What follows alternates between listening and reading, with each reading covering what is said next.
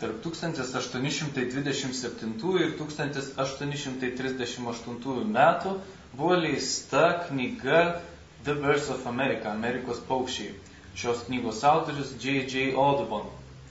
2010 metais ši knyga buvo parduota už daugiau negu 11,5 milijono dolerių ir tuo metu tai buvo brangiausiai parduota knyga pasaulyje. Lietuvos mokslo akademijos Vrublevskių bibliotekoje saugoma 1972 metais Leipzige išleistas vienas iš faksimilinių šios knygos perspaudų.